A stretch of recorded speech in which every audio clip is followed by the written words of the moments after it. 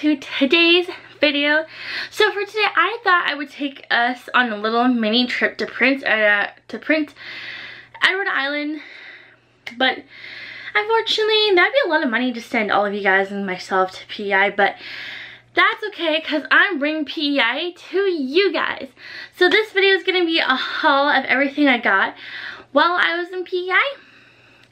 And now let's get on to the video. So as some of you may know, I went to Prince Edward Island last summer. And for those of you that are brand new to the channel, Hi, I'm Bri, and I went to Prince Edward Island last summer for a family vacation to visit family that I have down in Prince Edward Island. And I thought I would show you some of the little souvenirs that I got while I was down there. So the first thing I'm going to show you is the sand. And fun fact about Prince Edward Island is that their sand is red.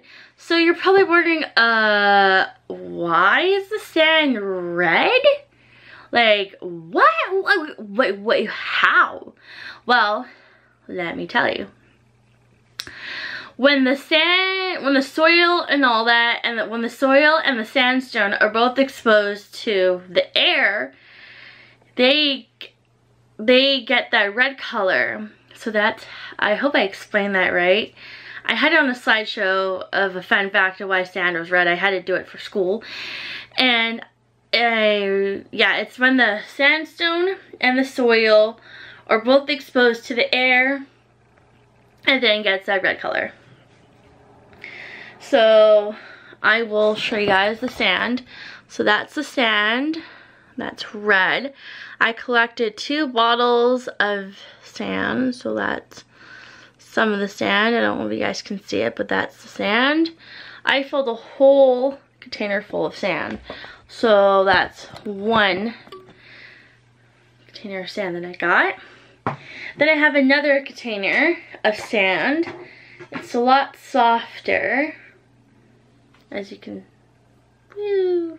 so it's the same color. That's what it looks like. Ugh. I'll pick up the camera and I'll show you guys. So that's the second bottle of red sand that I got. And then while I was in PEI, I also collected some sea, uh, some, I can't really, sea shells. So I'm to close the containers on the sand real quick and then I will show you guys the shells. Um, question for you guys. Have you guys ever traveled to Prince Edward Island or anywhere down there? If you have, leave a comment down below and also what you did there. Did you go there for fun? Did you go there to visit family? let me know. And so now I'm going to show you guys some shells that I found. So this is one of the shells that I found. Some of the shells were in pieces, some of them were still together, and the majority of my shells still has sand on them. I don't know if you guys can see, but there's still sand on this one. This one's a pretty blue one. And then I found a piece of, shell right here. Still got a whole hunk of sand right there. So this is part of a shell. Again, some of the shells were broken apart. Here's another cool shell that I thought was pretty cool. Looks like a little snail shell or a little crab shell. Here's a close-up of it. I don't know if you guys can see it or not, but this is the shell. There's inside and that's what it looks like. There was lots of these shells on the beach. And another cool shell that I found, I found a clam shell. It's, uh, part of it's broken off, but that's the clam shell. And then this is the inside of the clam shell.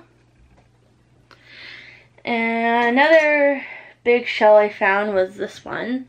They had some pretty big ones down there. This one's like uh, orange color, like a rusty orange color. And then another cool shell that I found. Let's see if I can find another one in here. Uh, let's see if I can find one. Ah, here's one. Here's another shell that I found. Uh, like, I kid you not, guys, like me and my two cousins that went to PEI with their grandmother. Between the three of us, we had about six bags full of shells. Like it was insane how many shells we found. And then I found a piece of this shell has a little bit of coral on it.